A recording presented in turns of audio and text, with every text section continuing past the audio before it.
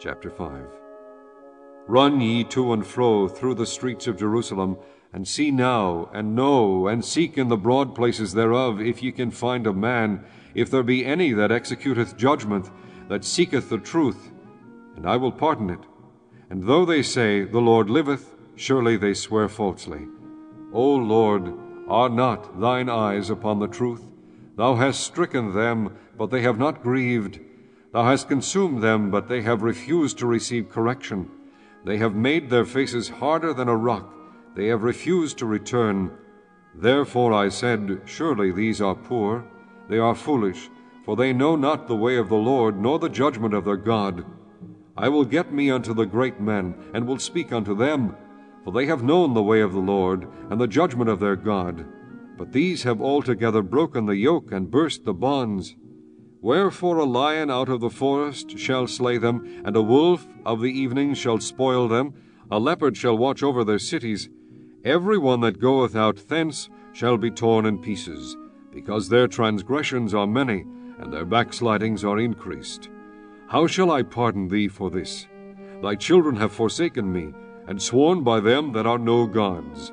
When I have fed them to the full, they then committed adultery, and assembled themselves by troops in the harlots' houses. They were as fed horses in the morning, every one neighed after his neighbor's wife. Shall I not visit for these things, saith the Lord? And shall not my soul be avenged on such a nation as this? Go ye up upon her walls, and destroy, but make not a full end. Take away her battlements, for they are not the Lord's. For the house of Israel and the house of Judah have dealt very treacherously against me, saith the Lord. They have belied the Lord, and said, It is not he. Neither shall evil come upon us, neither shall we see sword nor famine. And the prophet shall become wind, and the word is not in them. Thus shall it be done unto them. Wherefore thus saith the Lord God of hosts, Because ye speak this word, behold, I will make my words in thy mouth fire, and this people wood, and it shall devour them. Lo, I will bring a nation upon you from afar, a house of Israel, saith the Lord. It is a mighty nation, it is an ancient nation, a nation whose language thou knowest not, neither understandest what they say. Their quiver is as an open sepulchre. They are all mighty men. And they shall eat up thine harvest, and thy bread, which thy sons and thy daughters should eat. They shall eat up thy flocks and thine herds, they shall eat up thy vines and thy fig trees. They shall impoverish thy fenced cities, wherein thou trustedst, with the sword. Nevertheless, in those days, saith the Lord, I will not make a full end with you. And it shall come to pass, when ye shall say, Wherefore doeth the Lord our God all these things unto us? Then shalt thou answer them, Like as ye have forsaken me, and served strange gods in your land, so shall ye serve strangers in a land that is not yours. Declare this in the house of Jacob, and publish it in Judah, saying, Hear now this, O foolish people, and without understanding, which have eyes and see not, which have ears and hear not.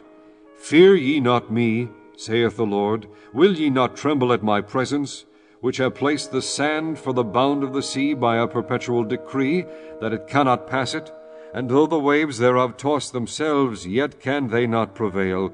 Though they roar, yet can they not pass over it. But this people hath a revolting and a rebellious heart. They are revolted and gone. Neither say they in their heart, Let us now fear the Lord our God, that giveth rain, both the former and the latter, in his season. He reserveth unto us the appointed weeks of the harvest. Your iniquities have turned away these things, and your sins have withholden good things from you. For among my people are found wicked men, they lay wait, as he that setteth snares, they set a trap, they catch men. As a cage is full of birds, so are their houses full of deceit. Therefore they are become great, and waxen rich. They are waxen fat, they shine, yea, they overpass the deeds of the wicked. They judge not the cause, the cause of the fatherless, yet they prosper, and the right of the needy do they not judge. Shall I not visit for these things, saith the Lord? Shall not my soul be avenged on such a nation as this? A wonderful and horrible thing is committed in the land. The prophets prophesy falsely, and the priests bear rule by their means. And my people love to have it so. And what will ye do in the end thereof?